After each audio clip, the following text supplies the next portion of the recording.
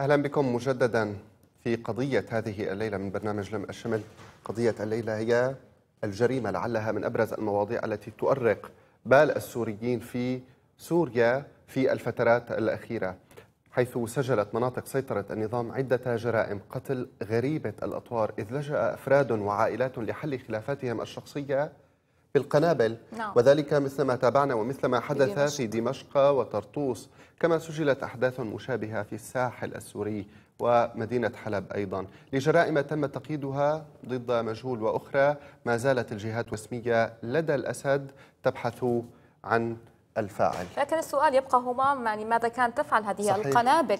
آه، بأيديهم ومن سهل انتشارها بين الناس. وأيضا ما الذي تعنيه عودة الناس لحل خلافاتهم بالقوة بعيدا عن أجهزة النظام؟ أقصد هنا الشرطة وأيضا يعني باقي الأجهزة الأمنية. هذه القصة ستكون محور قضية الليلة ولكن بعد متابعة هذا التقرير.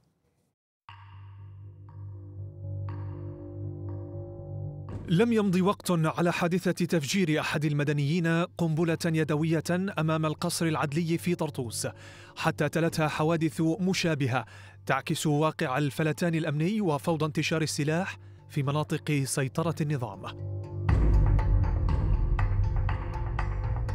فهنا خلاف عائلي آخر يستخدم فيه السلاح نفسه وهو القنابل اليدوية من قبل شخص في ريف طرطوس على زوجته وأولاده أسفرت عن إصابتهم.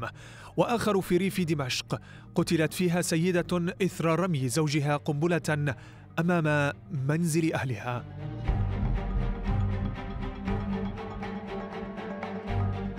تكرار هذا النوع من الجرائم بشكل قياسي وطريقة تعاطي الأجهزة الأمنية لدى نظام الأسد جعلت منها مادة للسخرية والتندر لدى كثير من السوريين. في واقع أصبح عنوانه مضحكا مبكيا فمن يرصد تعليقاتهم على منصات التواصل الاجتماعي يلاحظ استخدام العديد منهم رموزا تعبيرية لقنابل أو كما تسمى بالرمانات في تعبيرهم عن سخطهم أو انتقادهم لقرار حكومي أو ضيق معيشي.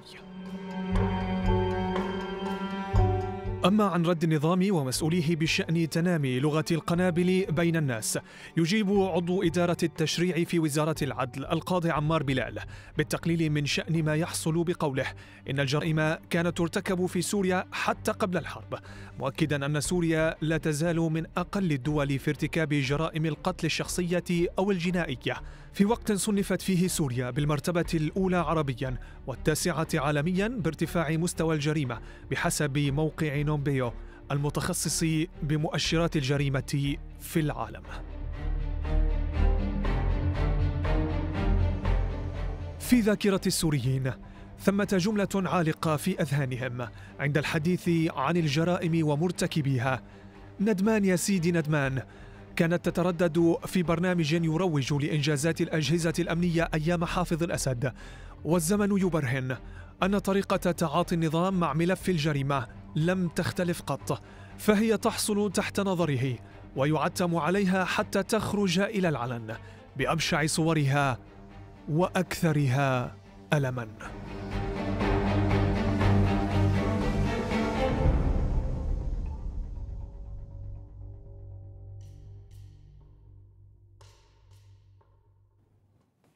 لمناقشة هذا الموضوع نرحب بالمستشار القانوني ورئيس هيئة القانونيين السوريين الأستاذ خالد شهاب الدين معنا من أنطاكيا. كما نرحب أيضا بالكاتب والصحفي علي إبراهيم من أوسلو. أستاذ خالد أبدأ معك. يعني هي ليست جرائم عادية ما نقرأ عنها أو تعلن عنها وزارة داخلية النظام في مناطق النظام أو حتى في مناطق أخرى من سوريا.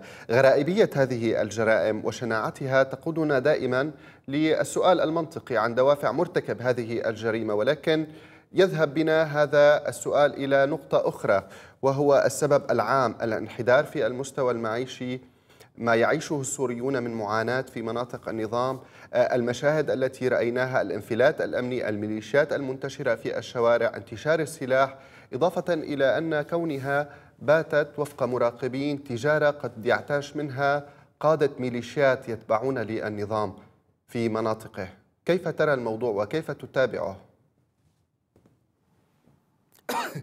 مساء الخير لكم جميعا يعني ما ذكر في التقرير إن دل على شيء يدل أن ما ذكرناه سابقا حول غياب السلطة القضائية، غياب البوليس، السلطة الزراعة التنفيذي للسلطة القضائية، تسلط الامن، تسلط الميليشيات المجموعات الإرهابية التي شكلها بشار الأسد عند اندلاع الثورة بالعام 2011 من يسيطر الآن على الأرض. طبعا بشار الأسد صنع هذه الميليشيات والمجموعات الإرهابية من أجل مساندته في قتل الشعب السوري. إلى الآن هو يحتاج هذه الميليشيات لم يقم ب ب يعني حلها.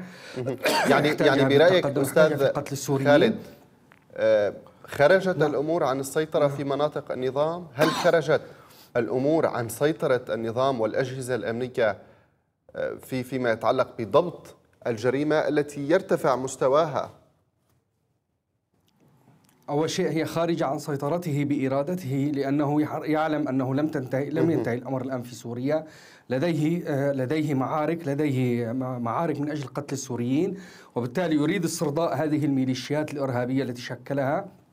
أعطى السلطة لفروع المخابرات سحب السلطة من القضاء سحب السلطة من البوليس.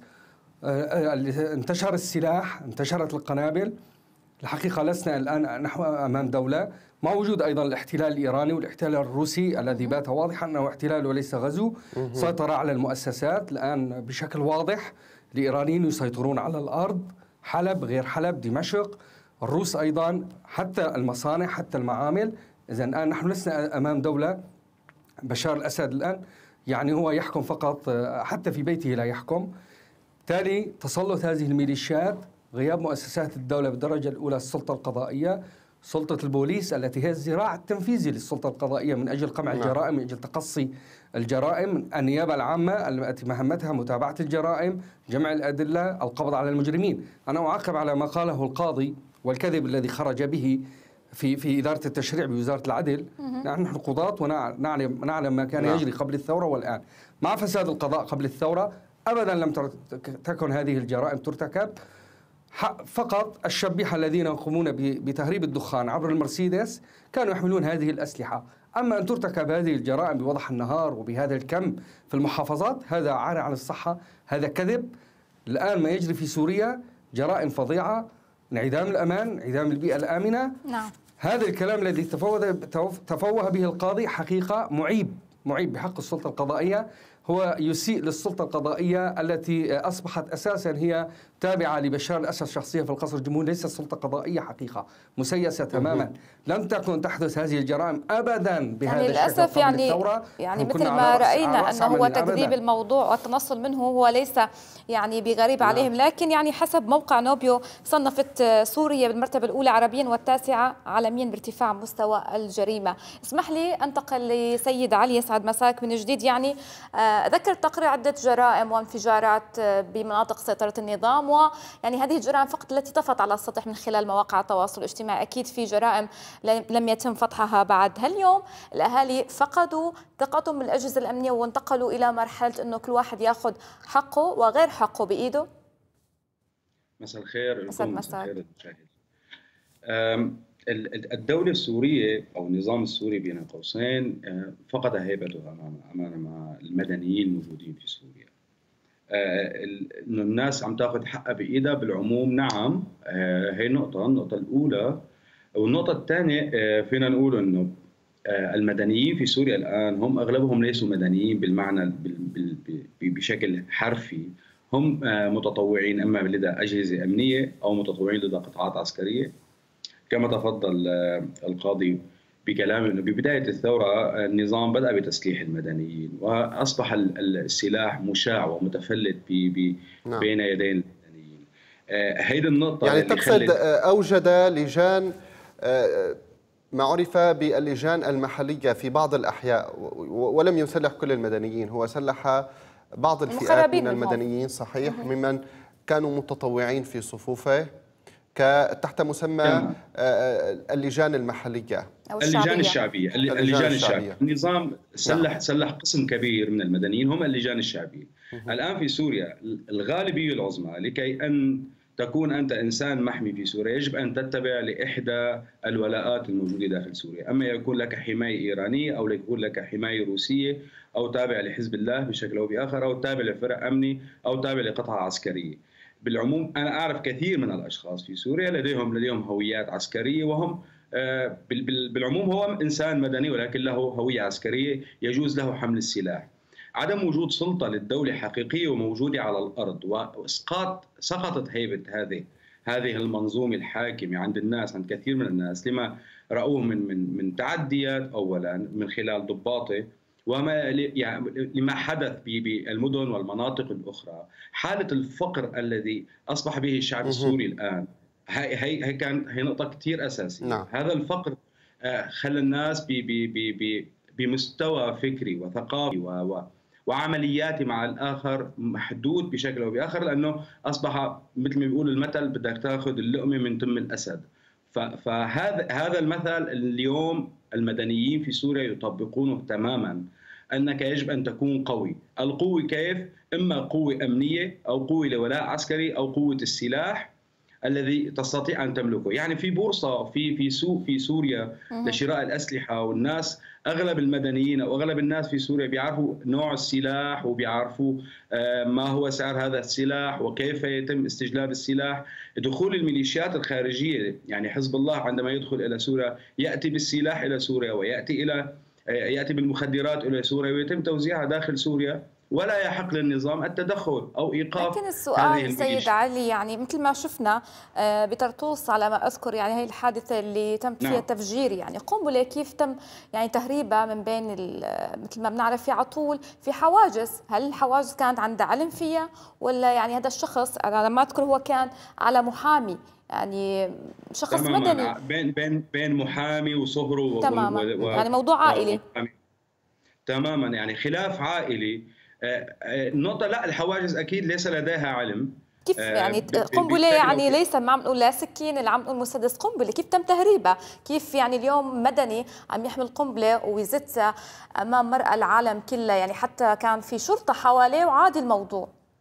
تمام. هذا هذا المدني المدعوم. هذا المدني المدعوم بسوريا اللي بيقدر يفوت على أي آه، أي أي مكان حكومي ما حدا بيفتشه آه، بيقدر ممكن يعيط على ضابط من الشرطة المدنية لأن الشرطة أو وزارة الداخلية ليس لديها هذه السلطة في سوريا اليوم. يعني السلطة يعني ممكن هذا المدني نفسه يحمل هوية تابع لحزب الله لميليشيا حزب الله؟ أو يحمل هوية تابع للفرقة الرابعة أو يحمل هوية تابع للفرع آه، للأمن العسكري. أوكي هو مدني بال بال بال بالشكل ولكن هو هو عسكري ومنضم لميليشيا معينة بالشكل الآخر. لا يستطيع شرطي من وزارة الداخلية أن يوقفه أو أن يقول له أنا بدي بدي فتشك. آه، المدني المدعوم بالمعنى الحرفي آه، الذي يملك من من الهيبة أمام أمام الناس العاديين أو أمام وزارة الداخلية بالتحديد اللي هي أضعف شيء. يعني الشرطي في سوريا هو اليوم أضعف عنصر آه، يعني أقل قوته أقل من أي عنصر منتسب. عنصر منتسب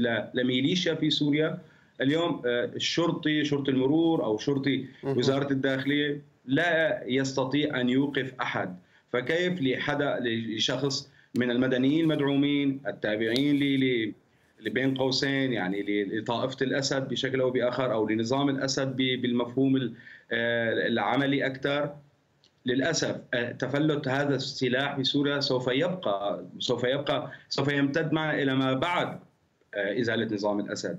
اليوم لحد اليوم نحن نعم. نشهد تماما بانه لبنان ما يزال بها تفلت من السلاح مع إنه بلبنان انتهت الحرب الأهلية من سنوات طويلة من عشرات السنوات وإلى اليوم ما يزال هنالك سلاح متفلت، السبب عدم وجود دولة حقيقية ووجود ميليشيا موجودة على الأرض. في سوريا أيضا عند انتهاء هذا الكابوس السوري من قبل نظام الأسد على الشعب السوري سوف نعاني أيضا من تفلت سلاح آه، مدنيين آه، يخبئون السلاح من ميليشيا بشكل أو بآخر ممكن تدوم في فترة معينة في سوريا.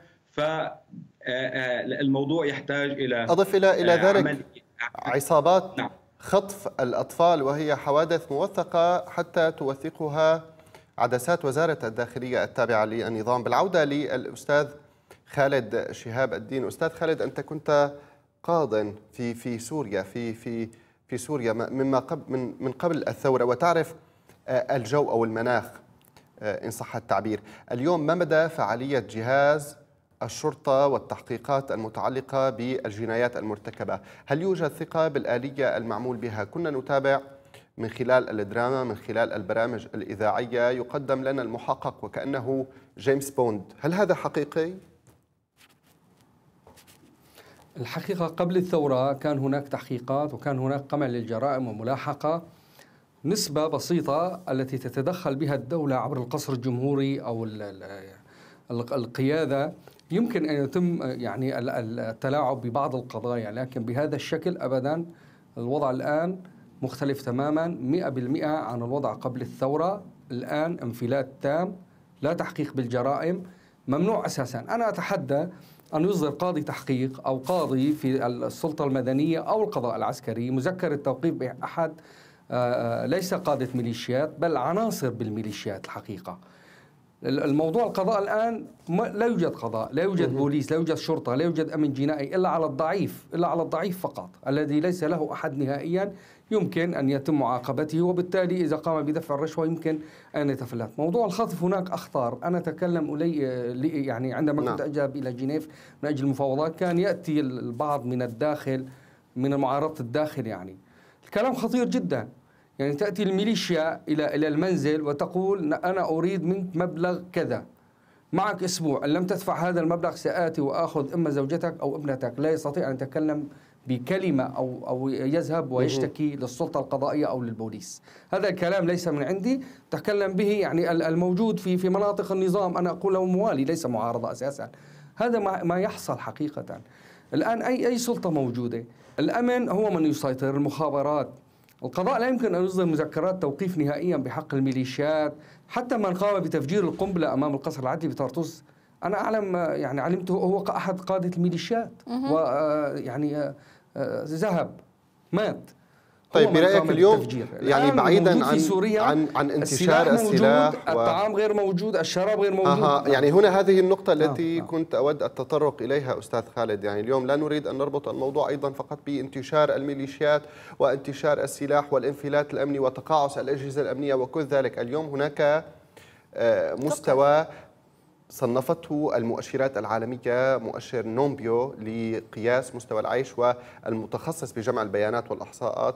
صنف دمشق بالمستوى العالي منذ ثلاث سنوات وإلى اليوم. أيضا مدينة حلب أعلى منها بالعالي جدا صنف مستوى الجريمة فيها. وبعض الجرائم المرتكبة لا علاقة لعسكري أو لحاجز أو لأمن أو عناصر أمن بها.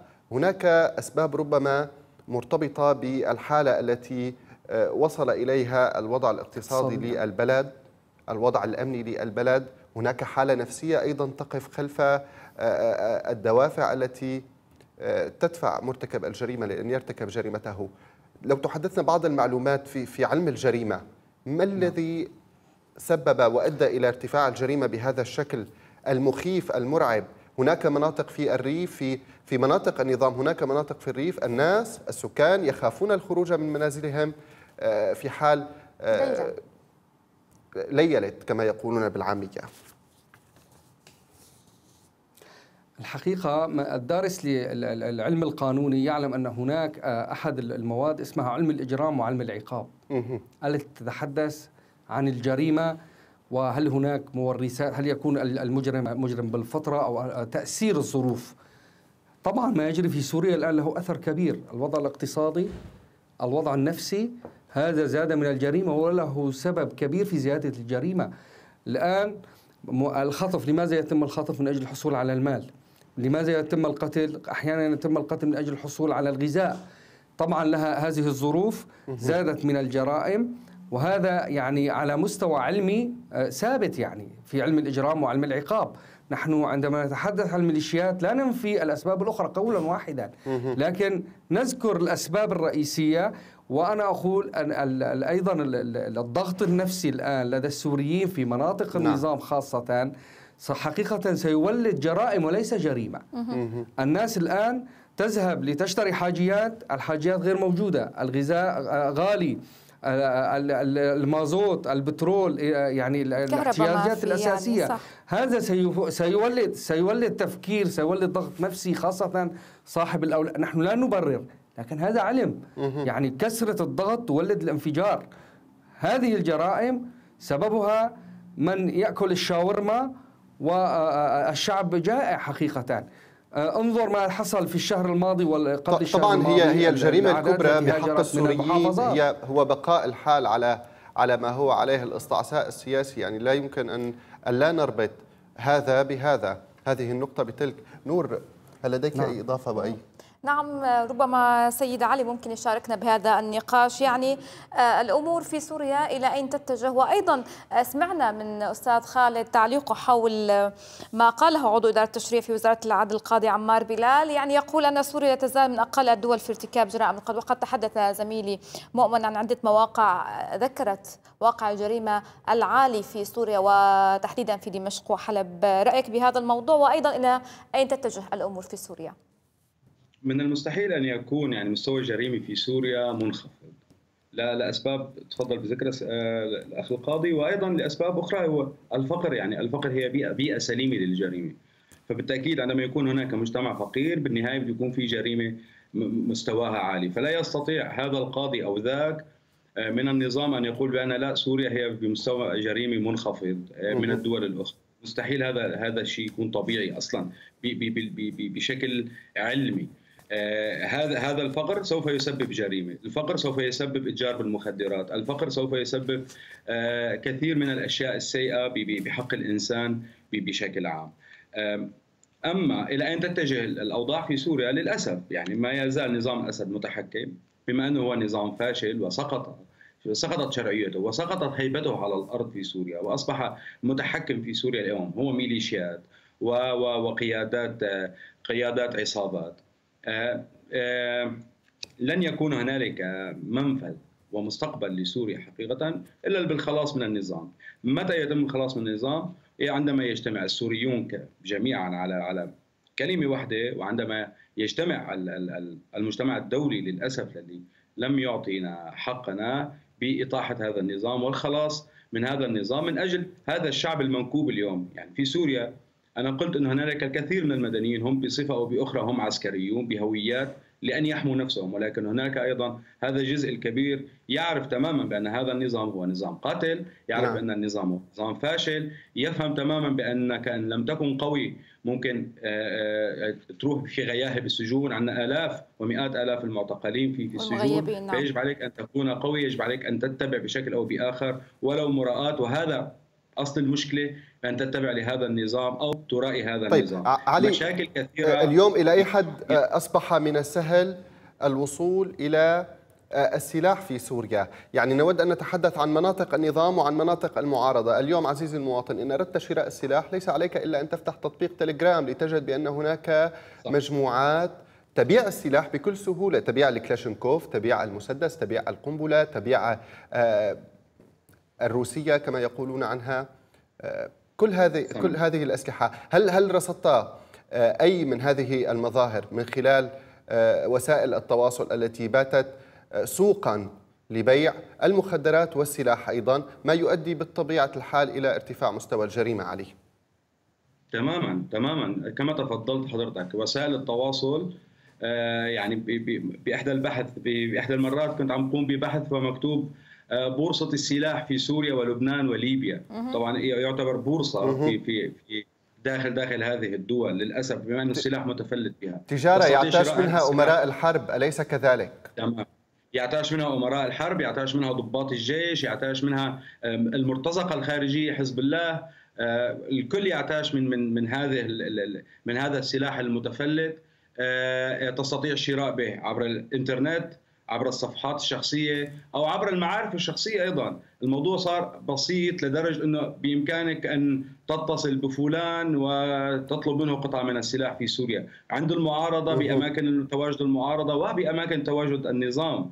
للأسف هذا السلاح المتفلت آه، كارثة كبرى على على الشعب السوري. صحيح. بالنهاية الشخص نفسيا عندما يحمل السلاح وليس هنالك ضوابط قانونية تستطيع أن تلجمه عن استخدام هذا السلاح بشكل أو بآخر أن نفس البشرية سوف تقوم باستخدام هذا هذا السلاح، نعم. كيف سيتم استخدام هذا السلاح؟ بشكل سلبي بشكل سيء باتجاه الآخرين باتجاه التصفيات الشخصية والعائلية و نعم, نعم. آه سيد خالد يعني أود الختام معك. يعني مثل ما آه كنا بنقاش أنا والسيد علي وأيضا الزميل همام يعني هناك تجارة رائجة للسلاح وأيضا المخدرات عبر السوشيال ميديا بمواقع آه مخصصة لهذا الموضوع وأيضا تدر المال الكثير على نعم. آه تجار الحرب. يعني برأيك إلى أي حد موضوع المخدرات أيضا هو السبب بانتشار هذا هذه المظاهر الإجرامية من قنابل وأيضا تفجيرات؟ يعني المخدرات سبب أساسي في الجرائم، نحن نعلم جميعا أثر المخدرات على الإنسان عندما يأخذ المخدرات على دماغه على عقليته وبالتالي هي تمهيد لارتكاب الجرائم. هي أحد الأسباب الرئيسية التي تمهد لارتكاب جرائم القتل، جرائم السلب بالعنف، جرائم الخطف، الذي ياخذ يأخذ المخدرات يصبح في عالم آخر دماغه في عالم آخر تماما. وبالتالي هو طريق أساسي لارتكاب الجرائم بشتى أنواعها سواء الخطف أو القتل أو السلب بالعنف يعني المخدرات خطيرة جدا للأسف. حتى الآن كما تحدثت الزميل وتحدثتم نحن لا واليوم سوريا يعني النظام رغم دولة الكبتاجون سوريا. يعني حتى دولة مصدرة. نعم للكبتاجون ولنبات الكيف بالأمس القريب بالأمس القريب بالأستاذ الكريم بالأمس القريب تم يعني كشف معامل في الشمال نعم. لصناعة المخدرات. في عفرين صحيح. و... و... ومعامل الفرقة الرابعة تنتشر أيضا. رغم, رغم لا تقارب الجرائم نعم. ومعامل نعم. الفرقة الرابعة تنتشر أيضا. لكن هذا لا يعفيهم. في منطقة القلمون. لا يعفيهم أبدا. على كل ما حال يجري في الشمال على... خطأ خطأ كبير أيضا. على كل حال نتساءل نحن عن أسباب ارتفاع معدل الجريمة نور في سوريا بشكل عام. يعني. وهو سؤال مشروع لكن بالمحصلة أكبر جريمة ترتكب بحقنا هو استمرار آه، الحال على ما هو عليه. طبعا. هو عدم تنحي النظام هو آه، عنفية النظام في التعامل مع السوريين. وما نتج عن هذه العنفية من آه، واقع نتابعه الآن. نتائج طويلة الأمد ربما تستمر صحيح سنوات صحيح صحيح. وهو وهنا الخوف من المستقبل من هذه النتائج التي ستظهر. مستقبلا. كما تحدثت أريد أن أشكر جزيل الشكر المستشار القانوني ورئيس هيئة القانون السوري من أنطاكيا خالد شهاب الدين أشكر كذلك الكاتب الصحفي علي إبراهيم من أوسلو نور. نعم. مشاهدينا فاصل وأكيد حيكون معنا الزميل فراد بآخر أخبار الرياضة.